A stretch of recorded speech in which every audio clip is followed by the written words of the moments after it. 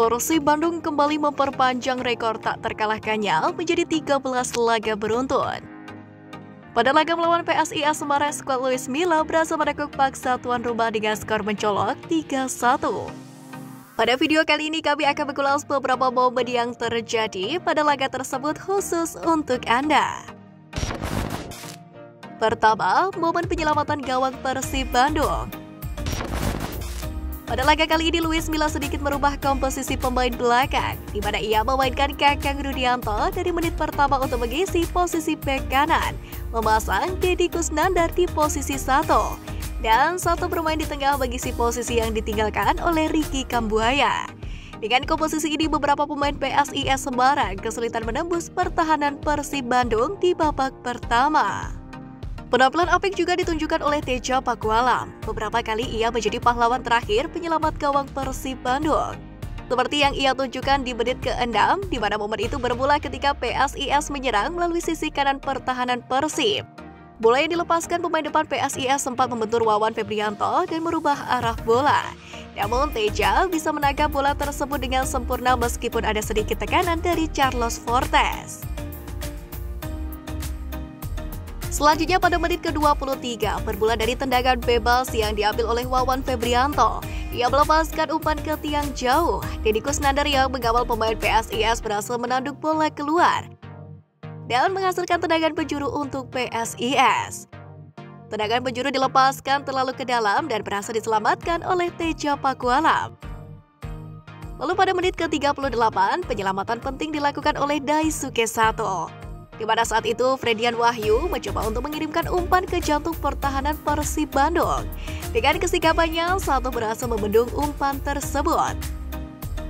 Usai melakukan blok, Sato tampak sedikit kesakitan karena bola mengenai pelipis sebelah kirinya. Di pengunjung babak kedua, gawang Persib Bandung kembali diserbu skot PSIS, di mana kala itu Ferdian Wahyu mengirimkan umpan ke kotak penalti Persib. Rian Ardiansyah pun berhasil menyelinap ke kotak penalti Persib dan berhasil berhadapan langsung dengan Tejo Pakualam. Beruntung refleks Tejo Pakualam berhasil menyelamatkan gawang Persib Bandung dari kebobolan. Lalu di babak kedua, pelatih caretaker PSIS yakni M. Ridwan memasukkan Marukawa dan juga Vitinho. Dengan masuknya dua pemain ini, PSIS mendominasi pertandingan di awal babak kedua. Lalu pada menit ke-54, Tejo berhasil kembali menangkap tendangan bebas yang dilakukan oleh Carlos Fortes. Tak berselang lama, giliran Rio Fuji yang mengancam gawang Persib Bandung. Lagi dan lagi, Teja dengan sikap menangkap tendangan tersebut. Di pertengahan babak kedua, Luis Milla menarik keluar Dado, Ezra dan Sato, kemudian memasukkan Abdul Aziz, Febri dan mendebutkan Rezaldi Hehandusa. Teja kembali menunjukkan aksi gemilangnya di menit ke-83. Dia menangkap bola umpan daerah dari Barukawa dan umpan crossing dari Taufik Hidayat. Yang kedua, asis bule di laga debutnya. Persib membuka keunggulan pada menit ke-18, di mana gol tersebut lahir dari kerja sama yang apik yang ditunjukkan oleh Ezra Walian, David Da Silva, dan dieksekusi dengan tenang oleh Barclay.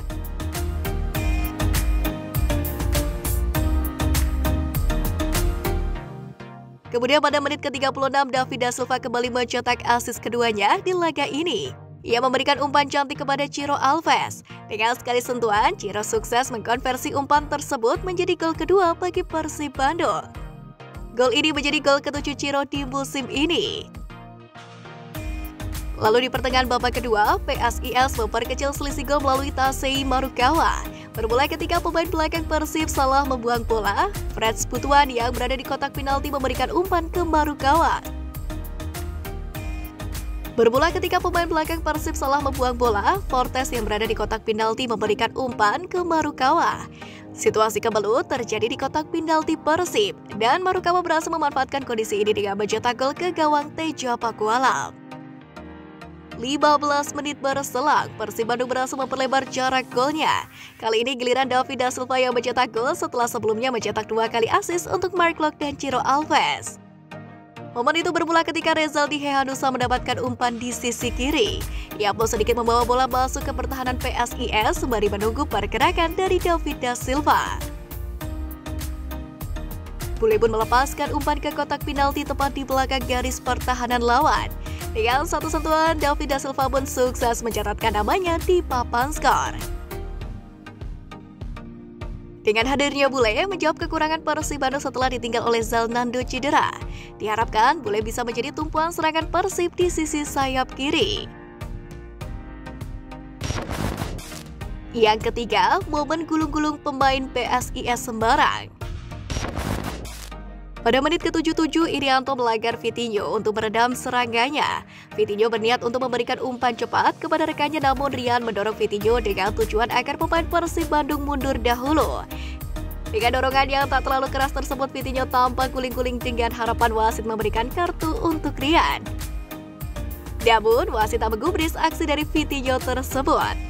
Dengan hasil ini, Persib Bandung kembali ke puncak klasemen dengan 42 poin dan mempunyai satu laga tunda.